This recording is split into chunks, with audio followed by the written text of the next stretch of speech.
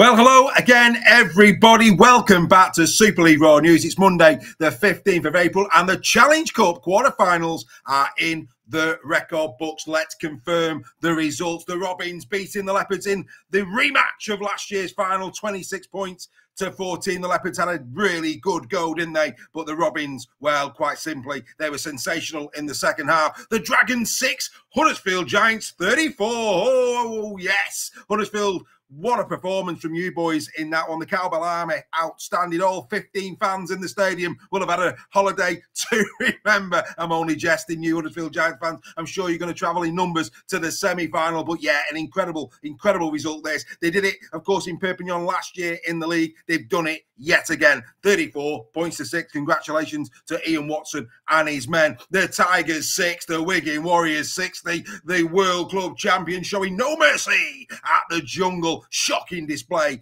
from the Castleford Tigers, just two games away from Wembley. It has to be said, it was not good enough. And then, of course, a brilliant game at the Totally Wicked Stadium. The Saints ain't the Warrington Wolves 31. A brilliant win this for Sam Burgess and his men. There is no doubt about that whatsoever. Let's start with that top game, Hull KR against the Leigh Leopards. Let's get the fallout from it and relive some great moments from what was a brilliant game. Edgy as I've been, to be honest. Um, it was it was a yeah, it was a, it was a, it was a good tough game. Um, I thought I thought both teams went hard. Um, you know, they're obviously Leigh struggling a little bit in terms of um, some of their personnel, but they certainly turned up, and we, we knew that they would. Uh, and our players, we, we probably didn't find. Um, we weren't sticking sort of to the plan in that first period, and purely was around our last plays and, and some errors there. But after half time, once we found um, our groove again and and stuck to you know a plan that we that we wanted to do. Um, I thought they executed extremely well. So you know I'm really really proud of the players. They had to dig deep for that one um, at half time with, with a win going against us. Uh, it, it, was it was going to be a tough tough ask um, with with the quality that they've got in their halves, but I thought we, we, we handled that extremely well. Keeping it moving to Minchella along the line finds Lewis. Oh, and a breakthrough from Hull KR, and they back it up. Yeah, there's a group of men there that I care about. They care about each other, and I thought today and every other game of the season, uh, you know, they've been close to. In parts, they've been really, really good, and then in other parts, have been poor. So we've lacked some consistency, but that comes with changing players all the time and, and positions, and, and even Gaz O'Brien pulling out this week and, and Mulhern again.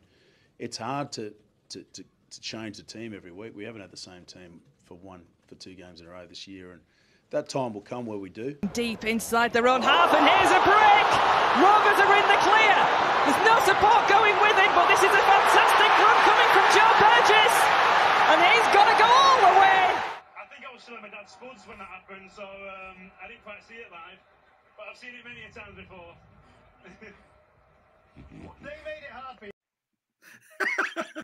Oh, Joe Burgess take a bow, sir. That was absolutely brilliant. Almost as good as his try. Uh, you know, what a brilliant, brilliant try that was from Joe Burgess. Matt Moylan quite simply looked like he was in slow motion, didn't he? A brilliant, brilliant try from Burgess. He took his second one well as well. Kelepi Tanginoa in brilliant, brilliant form as well for Hull KR. Can they get back to Wembley? Can they get it right in 2024 and lift the Challenge Cup. You wouldn't bet against them, would you? A really solid performance. Uh, as for the Leigh Leopards, you know, uh, what was good about that, with all of their missing players, you felt that they could go to KR and, and really, you know, not defend the trophy as well as perhaps they could have done with a full complement of players. That said, they really did come off that field for me with a lot of respect. I thought Tom Amone on his uh, return to Leigh Leopards uh, was quite simply superb uh, for them this week. So, yeah, Leigh, of course, they travel to Warrington uh, this week uh, with Tom Amone. Uh, and, of course, Brad Dwyer going back up against Warrington, having not played for him. That's going to be interesting,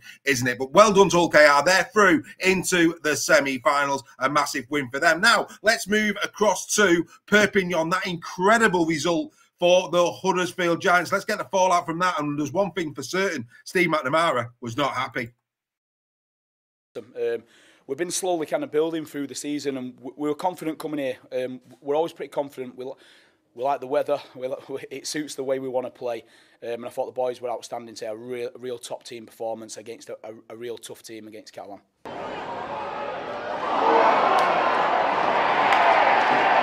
Yeah, beaten in every department tonight. Uh, very, very disappointing. We're you know, the Huddersfield have come and done a really good job on us.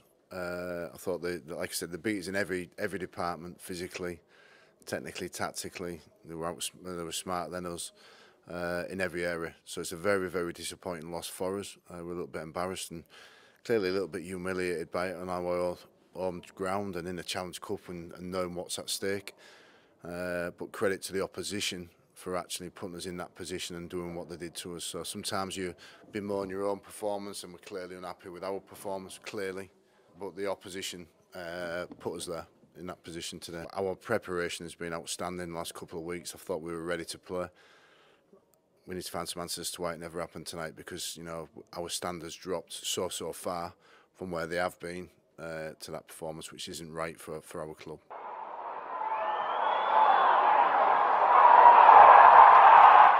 And that's all we spoke about at the start of the year is about improving week on week. And I thought today was outstanding. We said we were ready for this today, um, ready for the challenge, what Catalan were going to throw at us, and to see where we were. And I think that gave a good indication. But yeah, we do like the dry. Um, the fast track, we like, we feel like we've got speed out there, and, and we're definitely pretty fit as a team as well.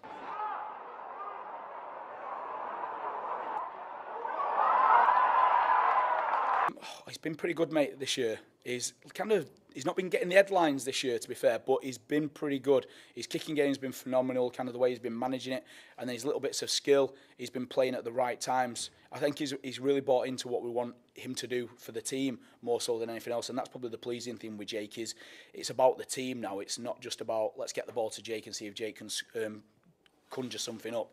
He's actually playing for the team, and we're, we're using the team's strengths to be able to hopefully free him up as well.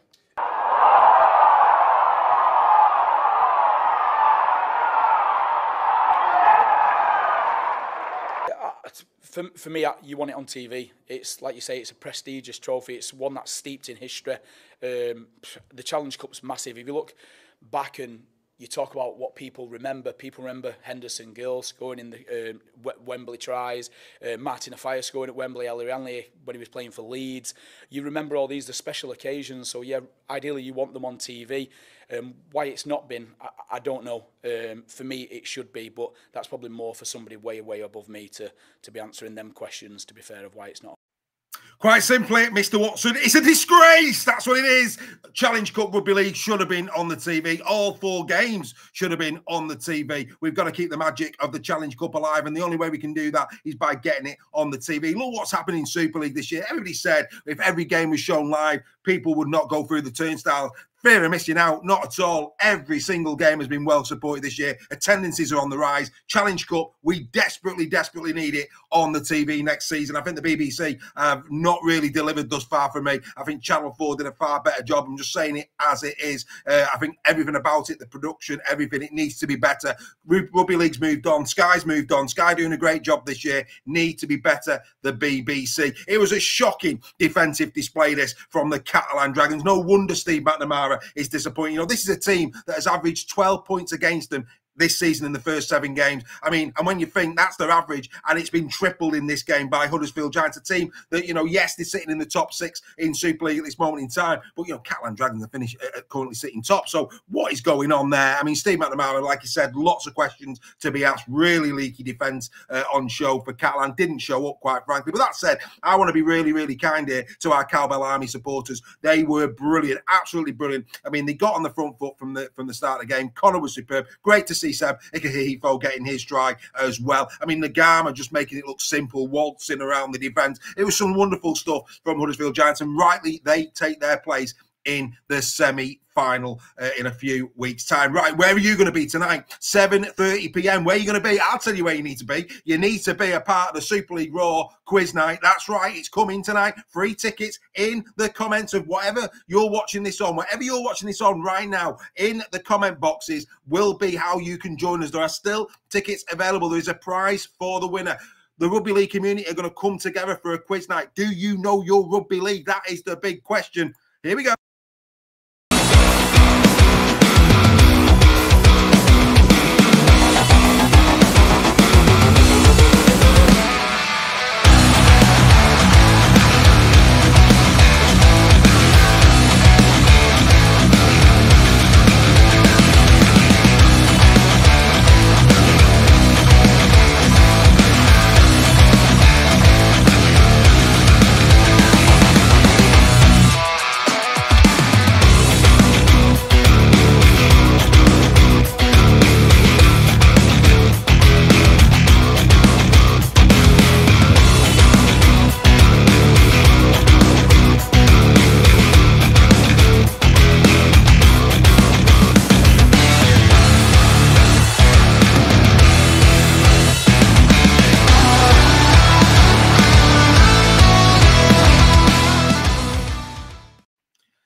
There you go. It's going to be happening. No other community online is doing this. This is why Super League Raw is the number one destination for online rugby league. We're bringing the community together tonight. Quiz night. It's going to be absolutely brilliant. Make sure you're with us. Get your tickets now. Only a few, well, say a few remaining. Limited tickets uh, available for this one. Go into the chat after the news update. Click on the link. Go and get your free ticket. Join us at 7:30 p.m. tonight. You need to have two devices: one to watch the quiz on, the other to play the quiz on. You're going to be playing this on your phone. Multiple choice questions. You've got a chance of getting a fluky one right. Don't worry about that. Come and join us. This is what's making Super League Raw so fantastic this season. The interaction with fans. We're building a community. Be a part of it. Right now, back to the Challenge Cup. Now, it's fair to say that Wigan really did have to put a shift in. They actually got a sweat on. Let's uh, take a look at that.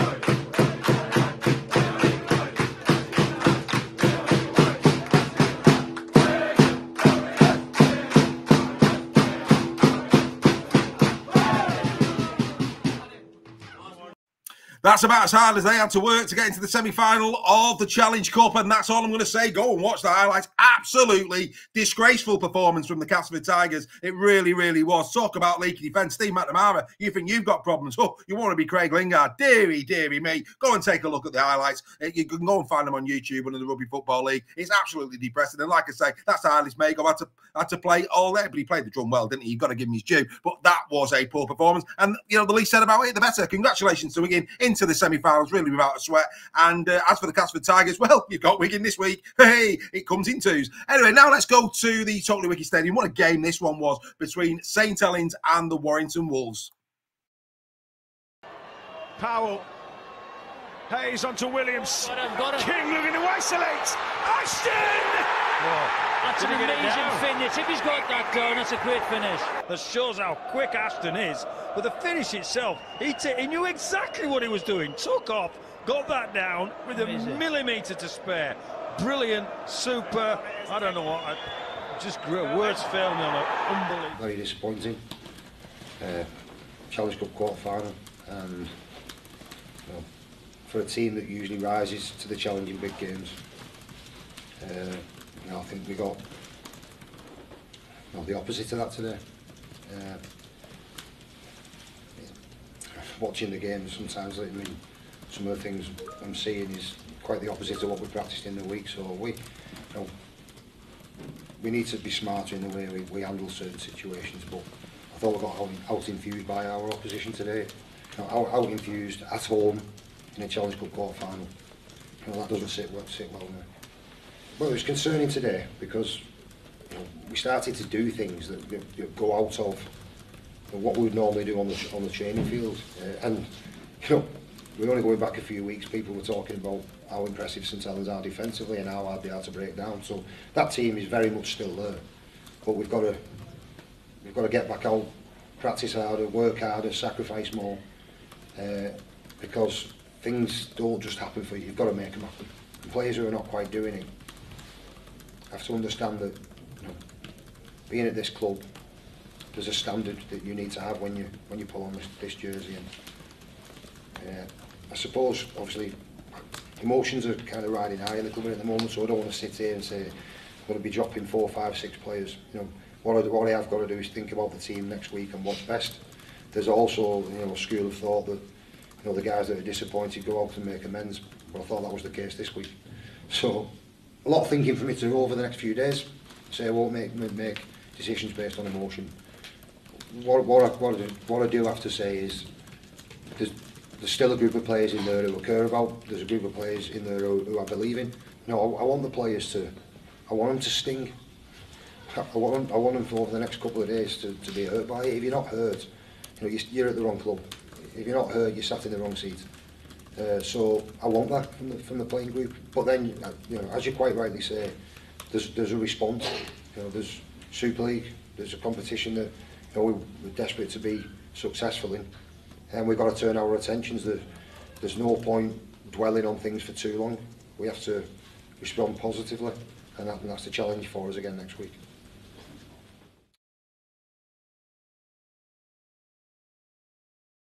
I just think it shows you know, there's there's going to be real competition in Super League this year. That's all. That's what I feel. He's in again. Oh, here is Dufty. Dufty rounds the fullback. He's got support for Williams. They are off to the semis. No question.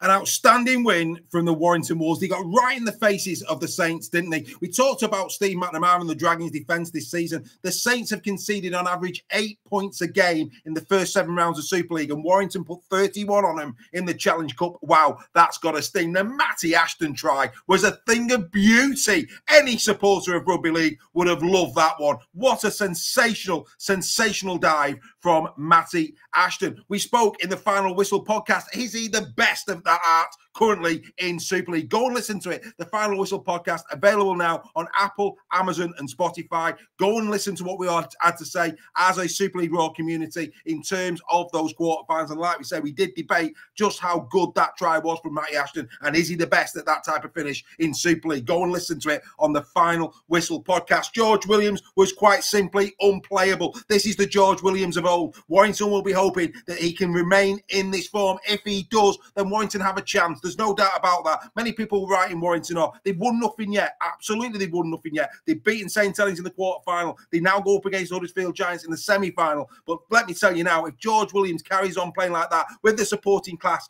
cast of Dufty, he's playing really well out of backfield. You know, Ashton on the wing. There's so many good things to see in that Warrington team, especially the the spirit of the team, the togetherness of the team. They seem to be doing really well. Sam Burgess will be absolutely delighted with that win. Warrington go through. Saints can have no complaints. They were well and truly beaten on the day. Right, this is the semi-final draw. The Robins go up against the Warriors. The repeat of last year's semi-final. Who can forget that Brad Schneider drop goal and drop Wigan out of the Challenge Cup. Oh, yes, indeed. They will want revenge for that. But as for the Robins, you know, that muscle memory, they know they can do it against the Warriors. Can they do it for the second year in a row? That is going to be interesting. And then that game down there, the Giants against the Wolves. Remember that first game that, well, the first Challenge Cup win under Tony Smith for the Warrington Wolves came against Huddersfield Giants. There's a little bit of history here between these two sides in the Challenge Cup. The Giants will not be concerned the way they played against the Catalan Dragons. They will fancy this against the wire. Don't worry about that. They'll be ready come that weekend in May.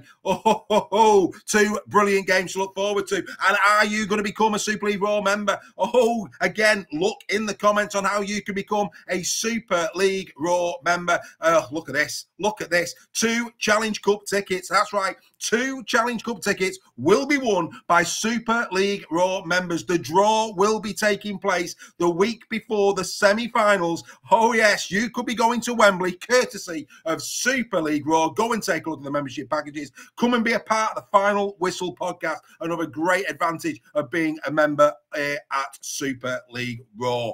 Right, the Challenge Cup has been well and truly put to bed. We hope you've enjoyed that little sneak around the grounds. But guess what? That's right, Super League is back this week.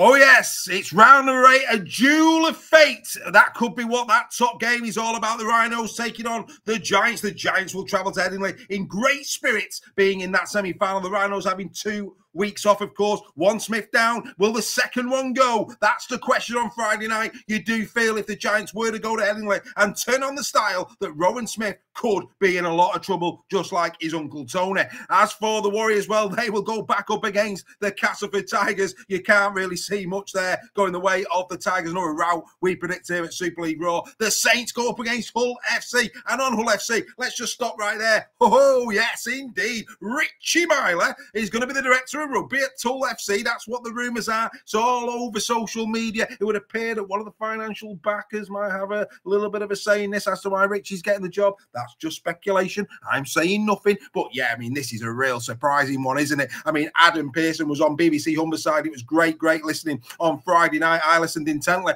And to be fair, he spoke quite well. He spoke about the club's difficulties in terms of the finances. They're actually spending up to, I think it was 2.3 million on the cap. And I think he said the real question is about recruitment and why, why haven't they spent it well? That's something that we'll be debating on Super League Raw Weekly tomorrow night, Tuesday, live, 8 on Twitter, Facebook, and YouTube. You don't want to miss that. A bit of weekly goes a long, long way to making your week a good one. That's right. We will be there on Tuesday night, 8 p.m. We will discuss that. We will discuss the Myler piece. But like I say, Pearson, you know, really was trying to, you know, just keep the Hull FC fans on side, explain to them what's going on because Brown leaving the club, Hoy leaving the club, you know, and then out of left field comes this announcement about Richie Myler. What are you black and white fans making of this? Are you happy that Richie Myler is going to be potentially your director of rugby? It's almost a done deal, is what we're hearing. If uh, rumours are to be true, we will be discussing that in great, great detail on Super League Raw Weekly. But the one thing's for certain, well, let's see. I mean, Simon Grix talk about you know taking charge of a team on the way to the Saints. The Saints now, of course, back to back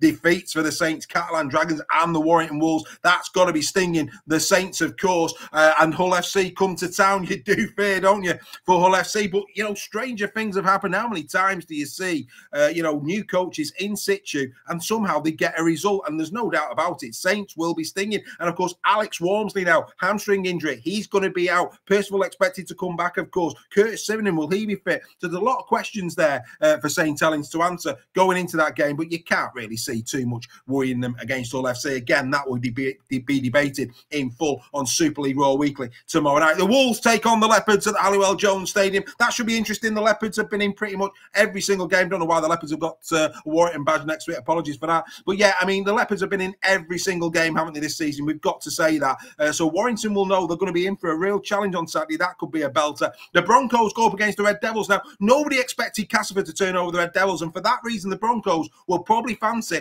a good dig at this one. It's going to be interesting to see what happens down there at Wimbledon uh, on Saturday. And then finally, the Dragons taking on the Robins. The Robins into the semi final.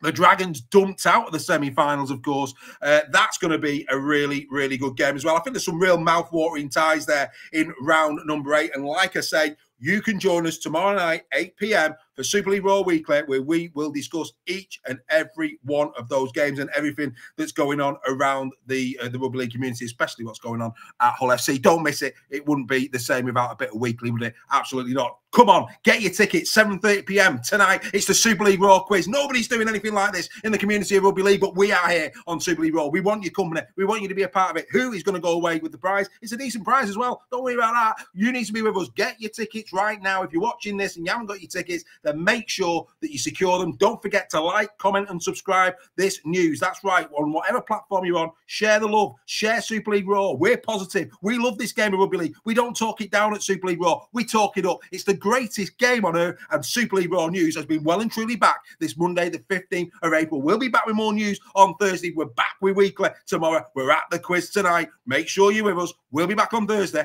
Have a great Monday, everyone. Bye for now.